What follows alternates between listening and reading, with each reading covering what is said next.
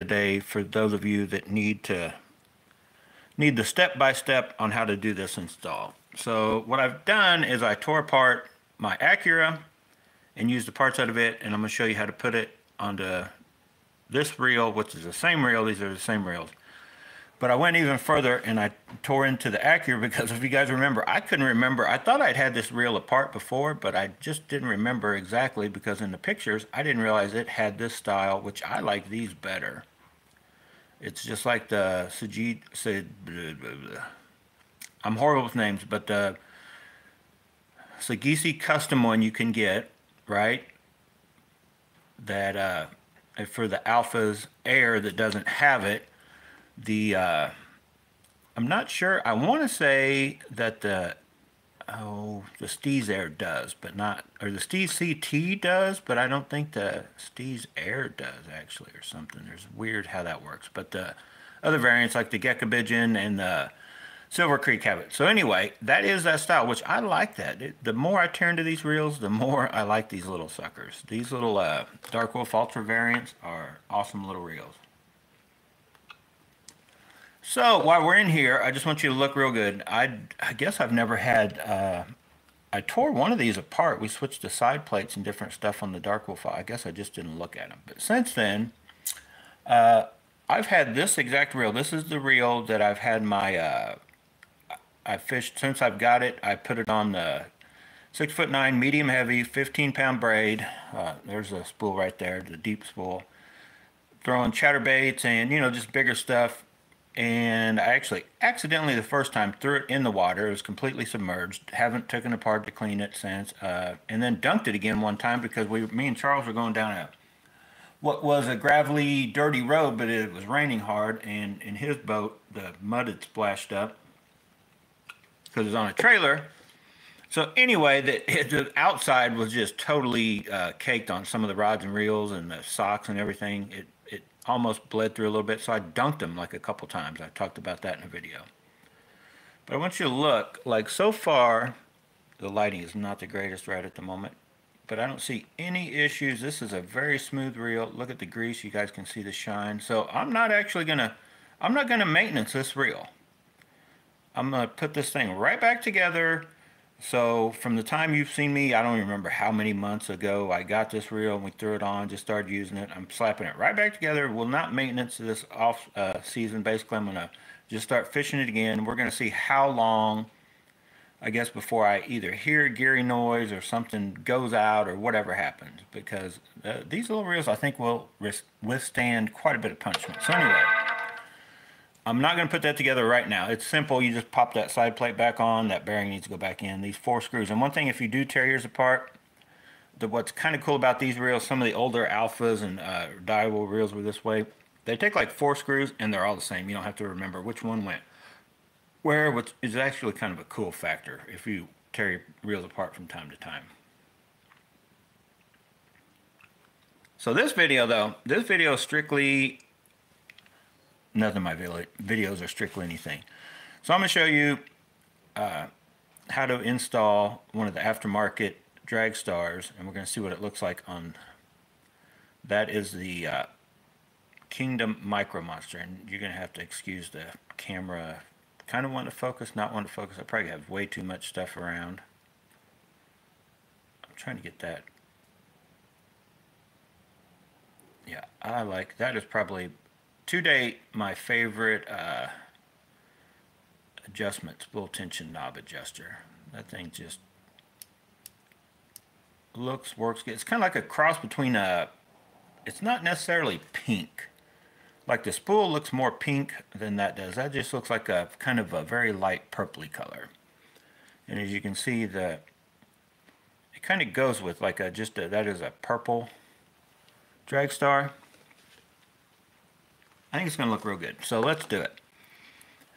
So I'll show you how they come. They come with, for whatever reason, there's two different ones. If you guys remember right in the blow up from the last video, if you haven't watched that video, you might want to watch it also, another live stream. But they only come with two actual washers.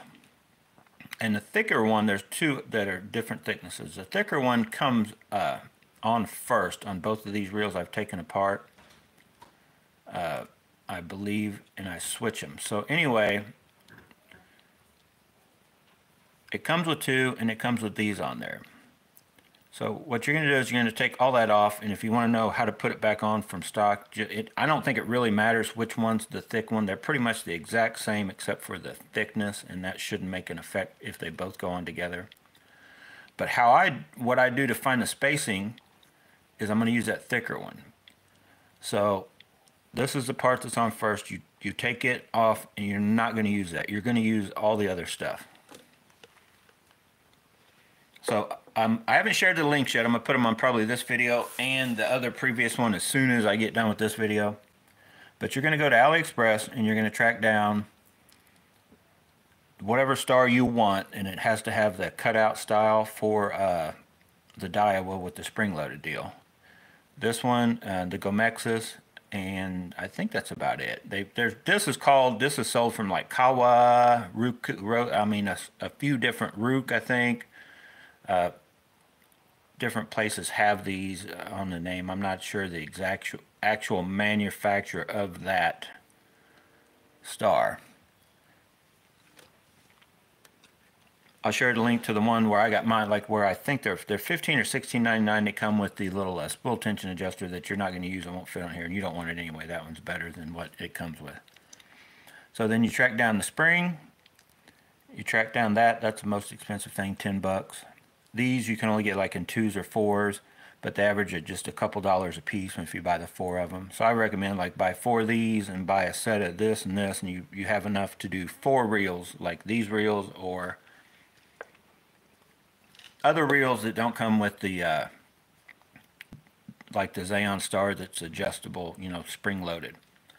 Okay, so you've, you've pulled that stuff off, and there's a new part you have. So the first thing you're to go back on with is that thin washer. Now, most uh, Daiwas have an actual, this part here is also thinner, so there's no way that the outer race can get uh, touched. That's kind of what these first uh, washer is for. It's to go on there and it touches the inner race, but it won't reach the outer race. And it actually, that, that is a big enough, uh,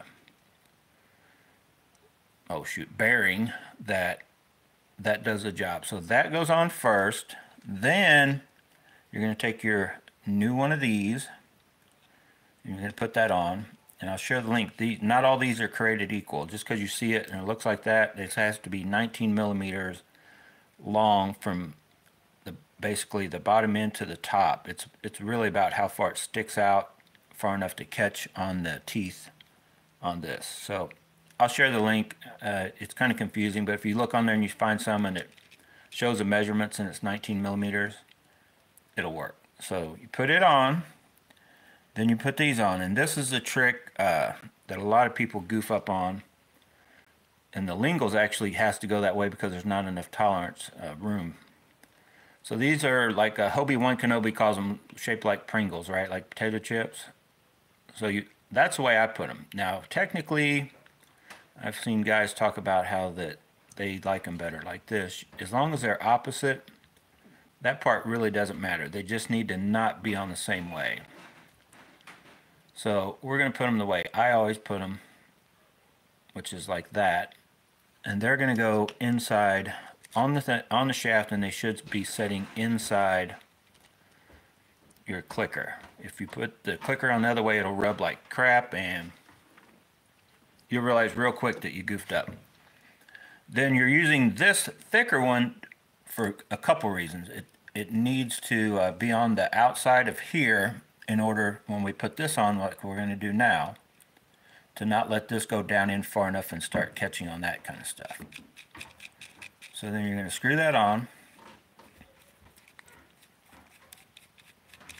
all the way down. You'll start to want to get it a little tight.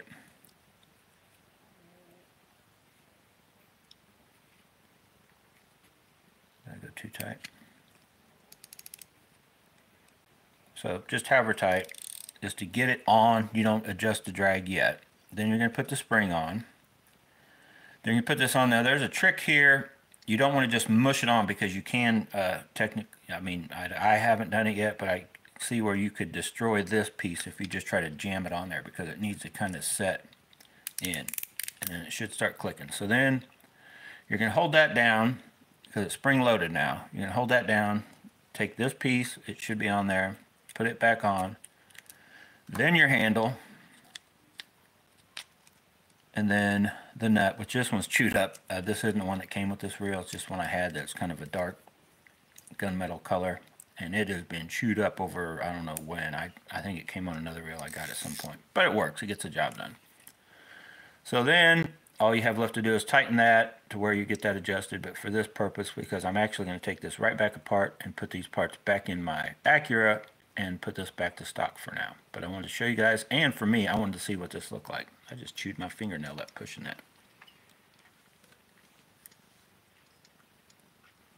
So it was that simple.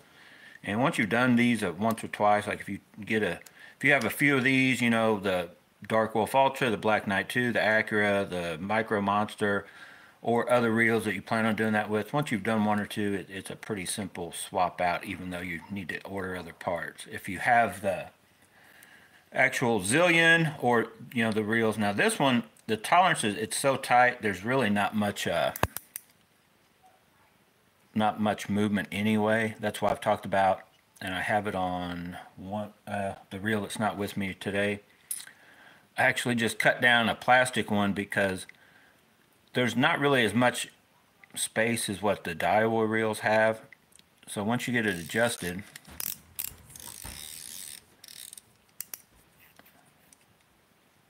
doesn't really move anyway.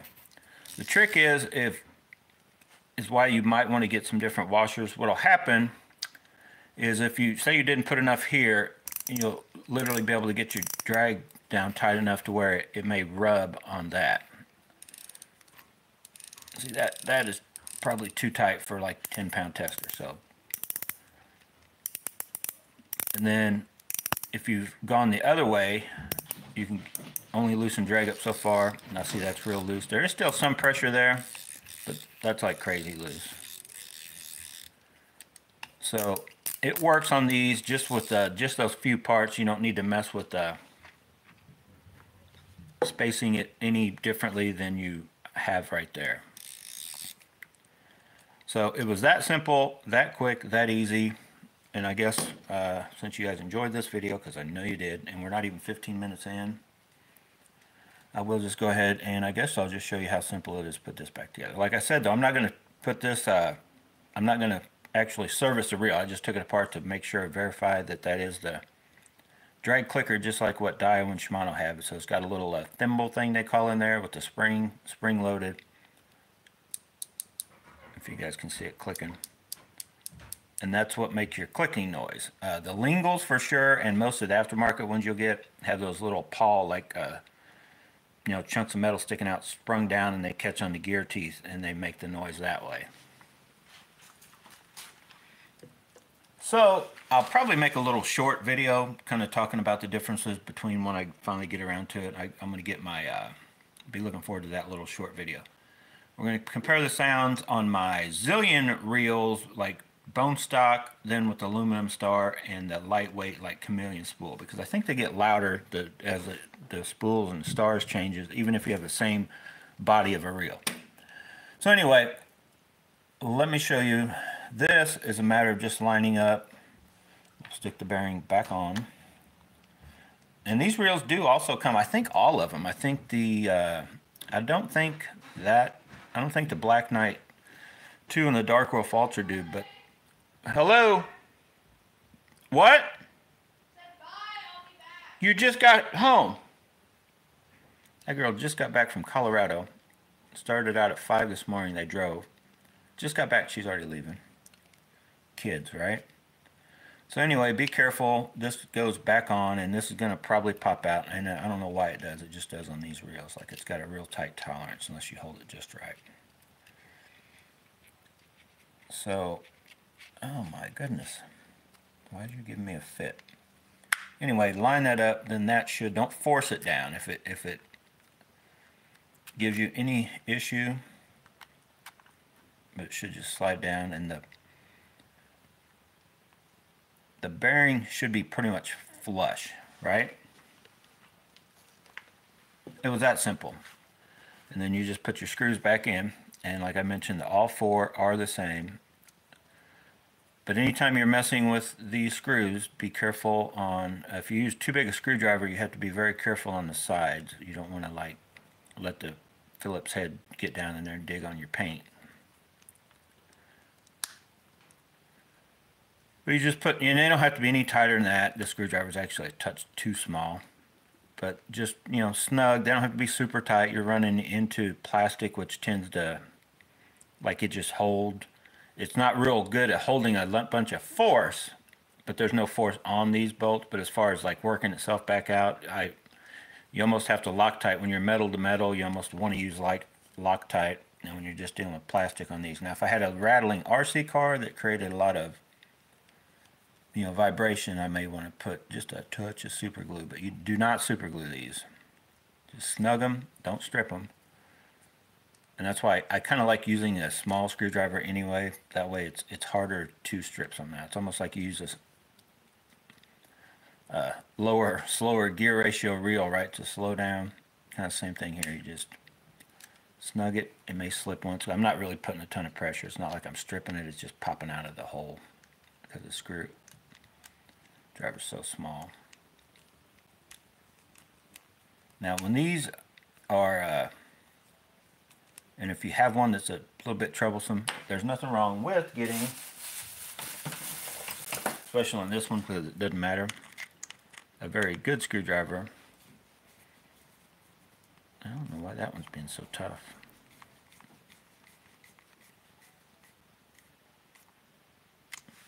Anyway. If anything feels bound up, don't keep putting it back together. Take it apart and uh, you got something goofed up. So anyway, it's that simple. Do you guys need any more? Let's see how fast I can put it back on the other one. Do you guys want to see that? No. So all I'm going to do is I'm going to repeat the process. Uh, you guys don't need to see that. I'll end this, call it a short video. So we tore into the drag clicker. Uh, this reel should have the